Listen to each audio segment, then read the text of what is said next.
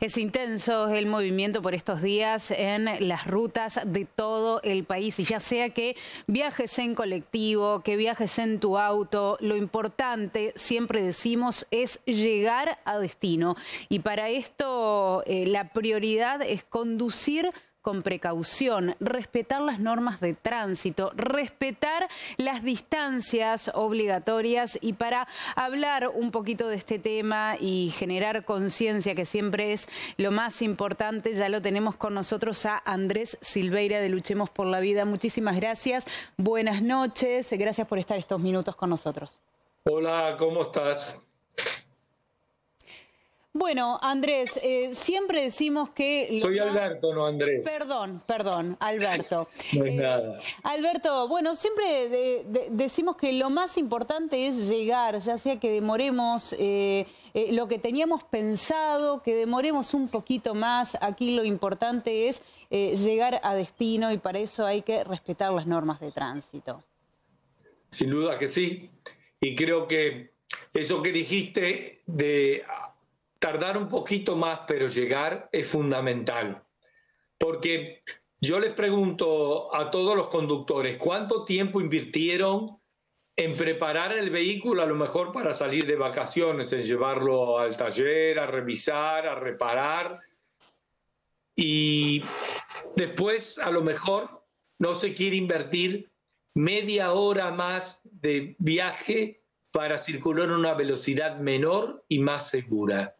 Y si pusiera un ejemplo cercano de Buenos Aires a Mar del Plata, que a lo mejor podría ser también de Buenos Aires a Santa Fe, ¿cuánto se tarda yendo al máximo permitido en la semiautopista, 100 kilómetros, 110 kilómetros por hora? Aproximadamente, en el caso de Mar del Plata, unas cuatro horas. Pero si circuláramos a 10 kilómetros menos, a 100 kilómetros por hora, ¿cuánto más tardaríamos? No más de media hora más, pero en cambio habríamos aumentado notablemente nuestra seguridad, porque a una velocidad menor las posibilidades de subsistir en caso de un siniestro vial son muchísimo mayores. Bueno, ahí es importantísimo. Estamos viendo, este ah, sí. Eh, que, lo sacamos, bueno, de, la página de Luchemos por la Vida y esto marca un poco cuál es el impacto y eh, la diferencia que puede hacer esto que usted menciona que tiene que ver con disminuir un par de kilómetros nada más la velocidad. Sin duda que sí. Y esto es importantísimo porque yo creo que nuestra seguridad pasa por poner en práctica aquello que no tenemos que asumir riesgos innecesarios.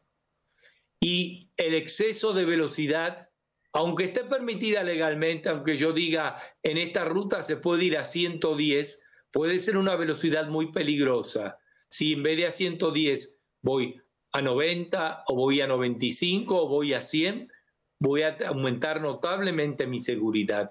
Lo importante es no asumir riesgos innecesarios no incurrir, por ejemplo, en sobrepasos ajustadísimos, en una ruta simple, tomarse el doble del tiempo que calculamos necesario para sobrepasar, para precisamente poder reaccionar a tiempo ante cualquier imprevisto. No ingerir absolutamente nada de alcohol ni drogas ni antes ni durante la conducción. Parece elemental, pero muchos no lo entienden así y así se producen terribles y espantosas catástrofes.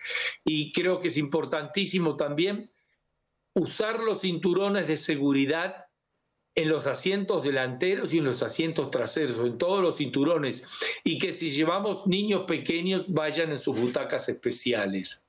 Y por supuesto que si salimos de vacaciones, tenemos que evitar todo estrés, porque para eso nos vamos de vacaciones. Descansar Entonces, dejar el celular. Descansar bien y dejar el celular apagado para precisamente tener una conducción segura y empezar las vacaciones desconectándonos de los problemas y desconectándonos de lo que hacemos habitualmente.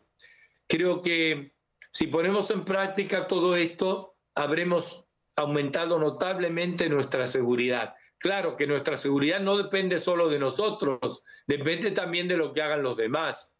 Pero si nosotros estamos alerta, si estamos en las mejores condiciones y si no asumimos riesgos innecesarios, por ejemplo, con una velocidad excesiva o con una velocidad simplemente alta, con el alcohol o con maniobras audaces y riesgosas, aún lo que hagan los demás lo vamos a poder enfrentar con muchísimas más probabilidades de sobrevivir.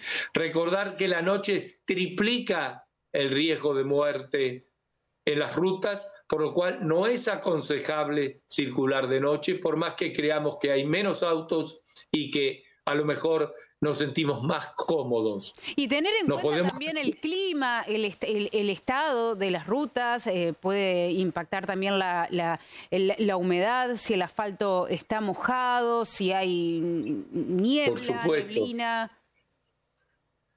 Por supuesto, tenemos que adecuarnos a las circunstancias del camino. Si vamos por un camino que está lleno de pozos, nuestra velocidad tiene que ser muchísimo menor. Si llueve, y la lluvia es torrencial, lo ideal es aparcar en un lugar seguro y esperar a que amaine.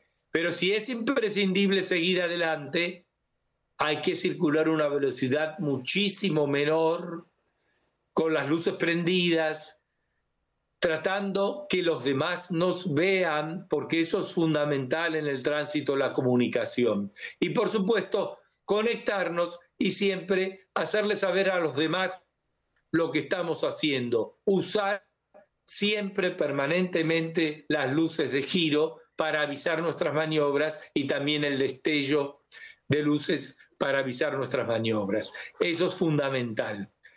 Pero tengámoslo como una norma general de seguridad, el no asumir riesgos innecesarios y el exceso de velocidad, aunque sea dentro de los límites permitidos o simplemente los sobrepasos ajustadísimos o las maniobras fuera de lo común, riesgosas, que los demás no puedan prever, son excesos, son riesgos innecesarios que tenemos que evitar. Alberto Silveira, muchísimas gracias. La verdad, en esta época del año nos parecía sumamente importante reiterar todas estas recomendaciones que nunca está de más, bueno, eh, volver a mencionar, hacer hincapié, porque todo sirve a la hora de generar conciencia y tratar de salvar vidas. Y lo importante es que aceptemos que esas eh, ideas, esos consejos de seguridad vial que conocemos no son para los demás, son para cada uno de nosotros en la forma en que asumamos salir al tránsito, en vehículos de dos ruedas, con el casco, como peatones, en todas las formas que tenemos de circular, no solo conduciendo el automóvil para ir de vacaciones. Muchísimas gracias a ustedes por luchar por la vida permanentemente. Muchas gracias, muy buenas noches y feliz año nuevo. Igualmente.